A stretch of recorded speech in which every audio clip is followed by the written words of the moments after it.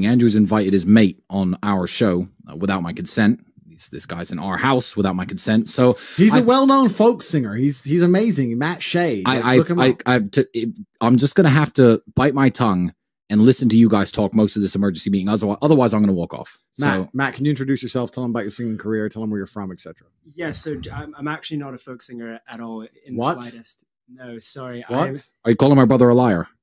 You lied this to case, me. Yes. to He's get been on this. my- He's been on this podcast for one minute. He's already calling you a liar. You lied to me to get into my house. You said you're a folk singer and you're going to sing to the world. No, the truth is, I'm actually here to make a documentary about both of you um, for Vice, and I'm just here to observe and listen and, and learn the, the Tate way. I No thought you were, chance. I thought you were a singer, my friend. Now I'm extremely disappointed. I thought you were useless as an individual, but you could sing. But now that that's gone, what do you have left? Do something. Do show a talent. Show the people. Do something. Prove you're not useless. Go. I, I make documentaries. Sorry, I, you'll see when the film comes out. Lame. Do a poll, Tristan. If it- Is anybody impressed by Matt Shea? Okay, Paul Let's, let's find out if anybody's impressed by Matt Shea. is Matt impressive. The answer is no. You're out. Why do you want to do? Why do you want to do a video on us? Tell us what's so interesting about Top G, most compendious, richest trillionaire, kickboxing world champion, sexy, tall, smart, rich. I mean, why am I so interesting? Please humor me. I, I, want to do a documentary about the phenomenon that is you and your brother because so many people, especially men, seem to really like what you're saying and follow you. And you know, I just want to find out you know, what's behind your philosophy and what makes you tick. And Do you like what I say?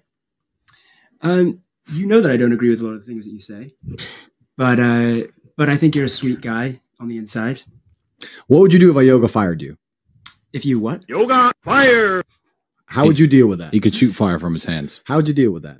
If you actually sprayed fire out of your hands? Yoga maybe? fire. Well, how would you handle that? You're making a documentary. You're chatting shit, saying I'm things I'm not, and I yoga fire you. What next? That would be terrible. I, would- I would scream. My skin would probably bubble, and I'd run away and stop, drop, and roll. And Sounds and I'd about right. survive. So keep that in mind when you're making this fucking little show. Oh, I'm already terrified. I've seen the knives and the giant fire thing. It's called a liar. Yeah. Yeah. When you smoke giant cigars, you need a big liar. Where's your cigar? Um, yeah, you gave me this actually. I, Has it gone out? It has. Yeah, I have to. Admit, Do you think cigars are free? Amateur hour. That's like fifty dollars. You know. Listen, that. Brokey, smoke it up. You never smoked anything that expensive in your life. Okay. Uh, yeah, you. Jeez, you're gonna make a video on me. At least you can smoke a cigar, have some respect. You didn't even sing on my podcast. It's all been a famoose, a fagazi from the beginning. What do you guys like about these anyway? They make you strong. Really? They make you stronger. Of the three people you could see on screen, who would be the third strongest? Of, of us three? Yes. In terms of what? Physical strength or strength of the heart? Well, I'd say everything, but let's go physical. Okay, physical. I think uh, You'd be the weakest. I'd be the weakest. Who smokes the fewest cigars? Me, yeah. Do you see a correlation? Um, I see correlation without causation. Yeah, Yeah. No, yeah, no, yeah. You can come back with the causation part, but you do see a correlation, correct? yeah. I want you to know that I've actually been, if you want to talk about correlation and causation, I want you to know that I've actually been protecting you your entire life. Me, me specifically. You specifically. Have you ever been attacked by a tiger? Uh, no, actually. No. That's because for your entire life, I have been protecting you from tigers. You may not know this, but I spoke to the Tiger King. Mm. I spoke to the Tiger Lords. I spoke to each tiger individually, as well as making sure you were shadowed at all times. Spoke by- to Joe Exotic. Exactly. Shadowed at all time by my War Room Elite Tiger Killing Squads to make sure you were never ever attacked by a tiger. The only reason you're not ripped to shreds is because of me. You owe me a massive thank you. Thank if you, you, piss me off, if you piss me off, I off, really appreciate. I will take that away. Unleash the tigers. Unleash the tigers, and you'll be walking through central London and you'll be torn to shreds. So you came on this show promising to sing to everybody. I've been protecting you your entire fucking life. I think you owe me at least a little fucking jingle. Do something. By the way, sixty-eight percent of the polls said you're unimpressive. This is your chance to reverse the poll. Ask. Can you ask what the thirty-two percent find impressive about me? I'm curious to know. That is that is actually a good question. Good question, right? Yeah. As Well done. asked the chat, what is impressive about Matt Shea, the folk singer who won't sing? What's impressive? Sing for us. You said, come on, I've been protecting you for tigers your whole life. Have you been bitten by a shark? Uh, no. There you go. I've been That- doing that's- double. That's down to me. Actually, I'm doing the sharks. He's doing the tigers. Thank We're keeping guys. them I all at really- bay. Thank you. Sing a song. Nothing. Nothing. This guy's poor. This guy's a geek. Nothing. He's an NPC. Nothing. He's short. That's the. I'm actually not that short. I, How t- how tall are you? I'm five foot eleven and three quarters of an inch. Sorry, you said five and you, Once you said five, Yeah, it was over. Short. Can you sing a song like you promised? nice. I didn't promise that. You do have an impressive haircut. Somebody said that. Hey, One person Thank you. of the 8,100 people watching us. Let me ask you a question. Have you ever seen the clown that hides from gay people? Uh,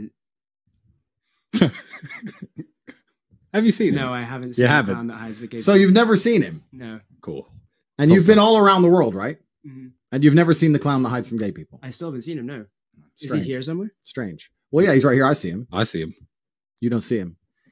Strange. Funny that. Yeah, Cool. funny. So we understand. You've never seen the clown. He won't sing. Uh, What else could you add to this podcast? You've know. not seen the clown. He I'm- won't sing. He won't smoke his fucking cigar. Someone just called him Malcolm in the Middle. okay, th- I mean, that's not fair. I literally am in the middle.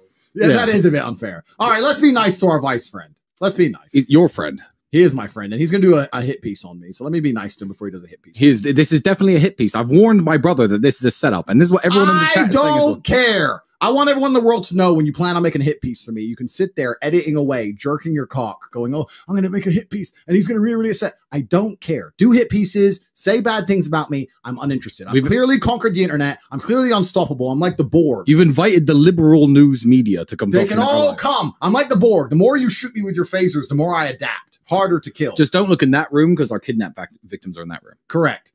Here, Vice. Let me show you a video of my Bugatti, which costs 5.2 million dollars. Big Andrew Tate and Tristan Tate, real bad man in the blood clot, you understand, eh?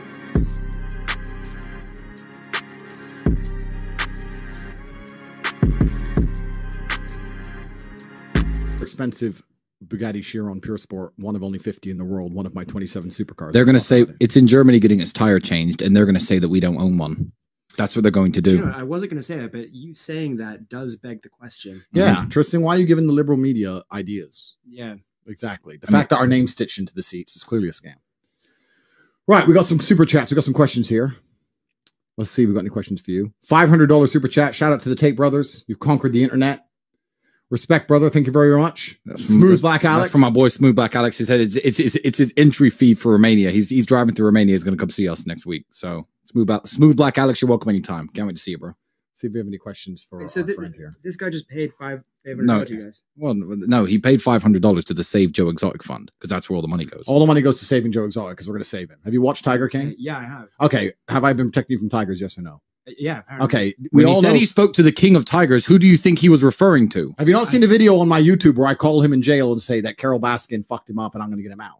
No. You Well, don't even watch my YouTube channel. We're raising money. All the super chats here. Do, do I look like I need money?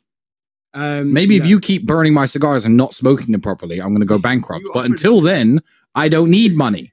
So the money goes to help our boy Joe Exotic. You need you need to watch my Tate speech and learn about our missions in life. You, you watch Tiger King, right? You do believe that Joe Exotic should be free, don't you? I don't really remember the plot of Tiger King. He was trying to run a tiger business. Everyone started telling stories about him and lying to the police about him and shit. Horrible. Poor guy. This is what happens when you save a guy from tigers his whole life. He has no respect for the Tiger King. He doesn't, does he? Won't even sing a song. He doesn't. Wait, wait. Are Vice going to call us ma- weird names like racist and homophobic? Because Joe Exotic is a homosexual and all of our money goes to help him out. So That's true. I just want to put that out there before you guys start labeling us with stupid labels. I also want to put out there if you guys decide to do a hit piece that you are a cisgendered white male and I am an ethnic minority. I am half Mm. African American, as you can tell. And as a person of color, I find it extremely offensive if you're going to do a hit piece on me. And that will be my reply because I think that's why you're doing it. A bunch of white men have turned up to my house. They're filming me as a person of color and they intend on trying to paint me in a negative light. If I was white like all of you, you wouldn't do that. So keep that in mind. the leader of the war room, the highest ranking member of the war room outside myself and my brother, is a Jew as well. So before you start saying stupid things, because I don't trust you 1%. I I don't want you in my song. house. Sing like you promised. Said, but this, you, you're, Sing a song. Andrew, it's a setup. This guy's the friendly face. They send him here. Well, I haven't Sing a this." song. And his editor Don't and his voiceover guy are going to be like, well, you know. You promised to sing to me. I've just sat here. I've I've just I've said. If you setup. think I won't kick Vice out of my house, I don't You've care. How long did you creating a straw? how long did you fly? How long did it take you to fly here? Uh, about three hours. Would you be upset if the documentary and all ended? I just kicked you out right now. What would you do? Yeah, I'd be very upset. Please don't do You that. got fired. You're gonna have to leave, bro. You're gonna have to leave. I'm sorry. Don't make me call the security. I don't look. I'm gonna. I'm, I'll give you some chance. Well, Are we done with this guy? I think. a few more minutes, or no, are we done with no, him? no. You can sing now, or you're off the pod. That's fair. I, I I'm I don't think I can sing. Why not? Just sing a little jingle. I can't sing when I'm nervous and there's Sing the Mr. around me, Producer and song. I'm in between two Tate brothers and they're both incredibly hench and good at. Oh, I see. Because because we're half black, we're violent. Is that what it is? Is it racism? typical? Is that the card he's playing? cisgendered white male? Trying to bring typical. down, trying to bring down the black. we can see how they're coming at us. Mm. It's fine. Horrible. No, it's no problem. No, Hit I- piece. It's fine. you No know I problem. haven't said any. Don't worry about it. Just because I'm wearing a gun, I'm violent. Is that how it is? Just because I got knives all over the table and I'm a kickboxing world champion, I'm violent. Well, it's actually, you know, that's something I might maybe maybe respond to. If you are wearing a gun and you have knives, that does make you a little bit violent. It makes no, it doesn't. No, it doesn't. It makes me security aware. Security. Conscious. If you have a knife and fork in your hand, are a violent man. With the knife and fork I used to cut my meal. I it use I it use these things this. for other. He used it isn't to cut the cigar. yeah, I, did I not use the knife to cut your cigar? What would you do if a pigeon came in here? You'd ask me, pull the I strap, no kill the what it is. pigeon. That's what I you wouldn't- do. No, I wouldn't. Pest control. Listen, I'm tired of I'm tired of being accused of things. Uh, this is absolutely You've unacceptable. in my accused yourself house. of things. Absolutely unacceptable. Do we kick him off the pod? Well, it's got to be a poll. It's got to be a poll. It's gonna be a poll. Do we keep him or do we kick him off? Keep Matt. Yes or no? It's gonna be interesting. In the meantime, let's uh talk about here. Do you want to see? Should I put on on the uh, screen? Should I show the rest of the vice screw to the people at home?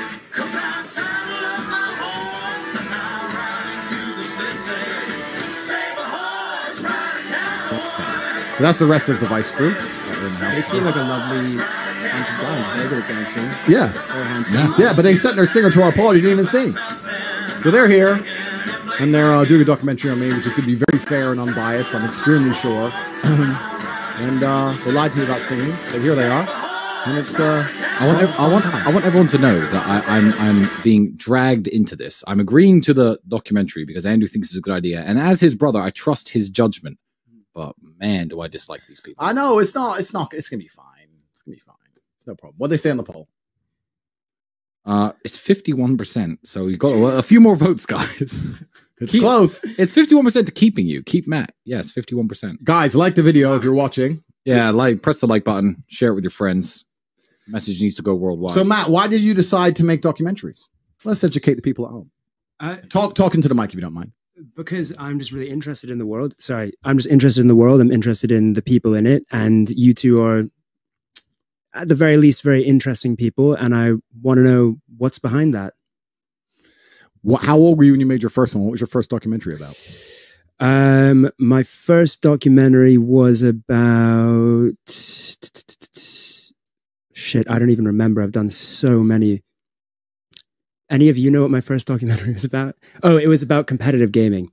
Yeah, it was about esports. That's actually leads into something very interesting because I've been going on Twitch lately and Mm. getting all the Twitch records because anywhere I go, everyone Mm. watches. And uh, Twitch is a cesspool.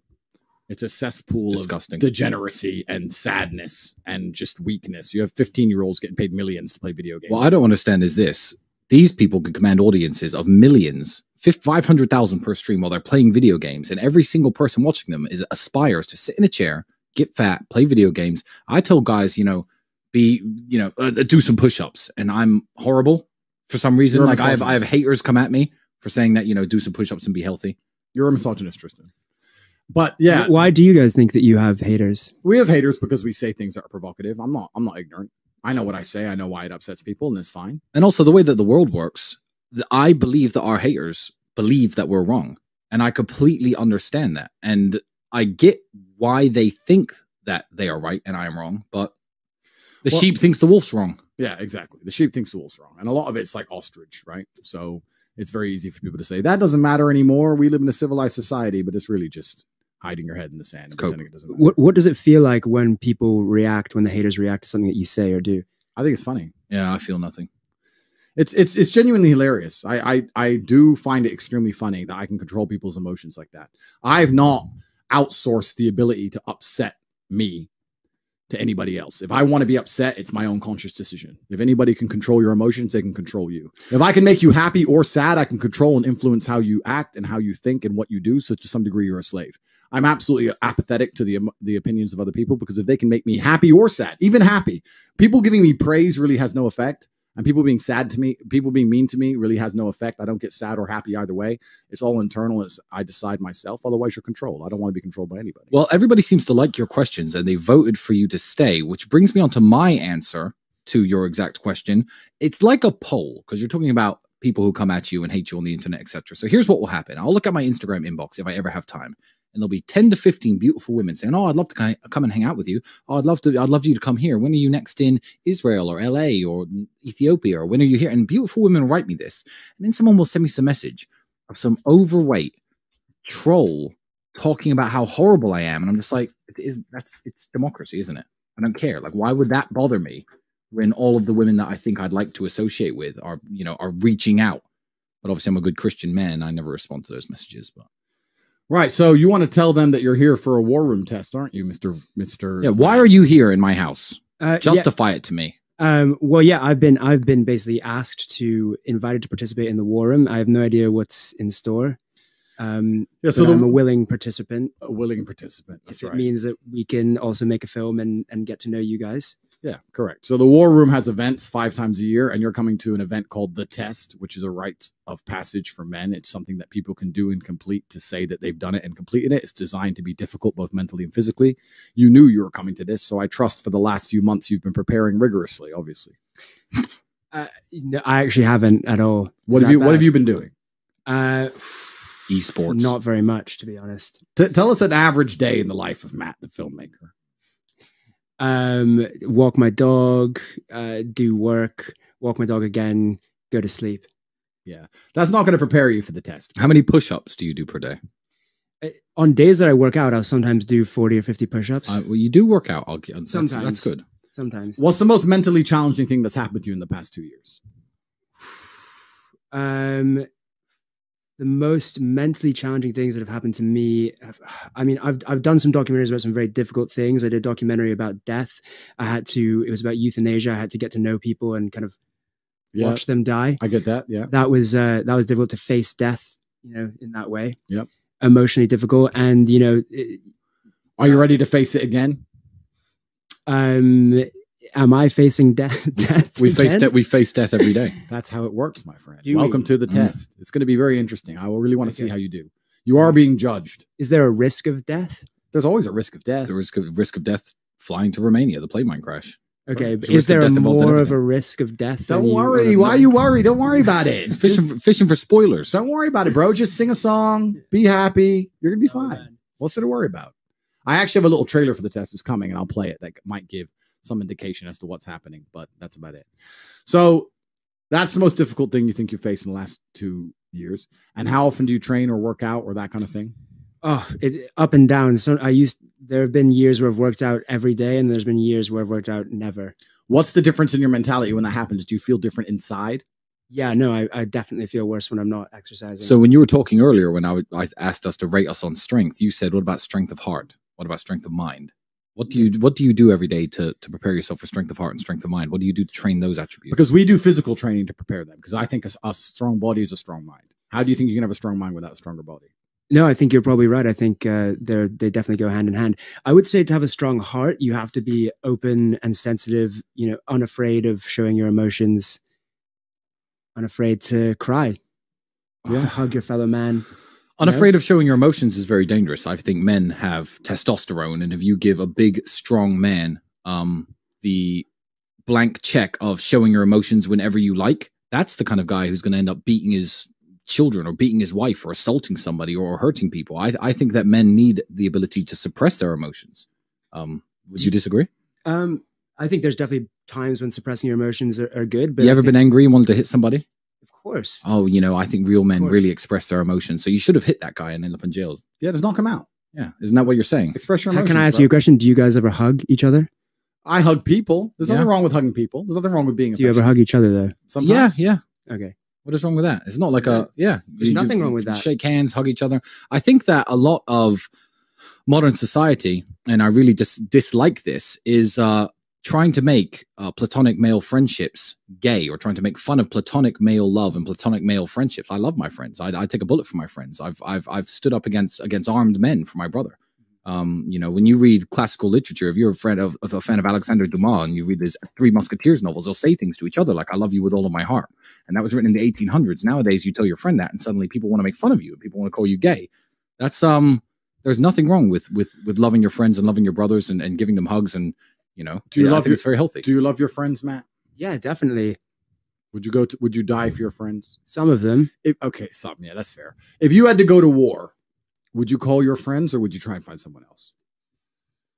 I probably I prefer your friends. Yeah. So if why? is a war? Yeah. probably. I don't. I don't Yeah. blame you.